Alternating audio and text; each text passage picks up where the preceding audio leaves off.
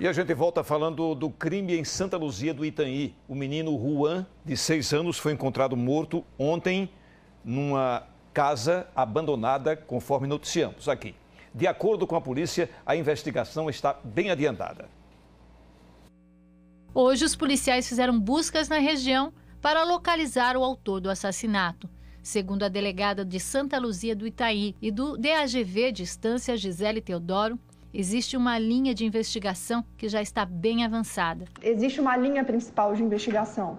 Nesse momento, por, por, motivos de segurança da investigação, não estaremos divulgando nenhum dado. O corpo do menino Juan Santos da Conceição, de seis anos, foi encontrado numa casa abandonada em frente onde morava pelo pai na manhã desta segunda-feira.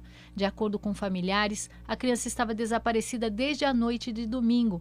Ele saiu para brincar na porta de casa. A família demorou a perceber que ele havia sumido por acreditar que estivesse na casa de parentes, como era de costume. De acordo com a polícia, Juan sofreu abuso sexual e foi morto de forma cruel. A polícia segue fazendo diligências. Pessoas já foram ouvidas. Diversos levantamentos já foram realizados, diversas pessoas já foram inquiridas. Esperamos que, com o avanço de alguns exames periciais, a gente consiga dar uma, uma posição mais específica. E tão logo as nossas suspeitas sejam confirmadas, essas investigações serão levadas para a comunidade com detalhamento.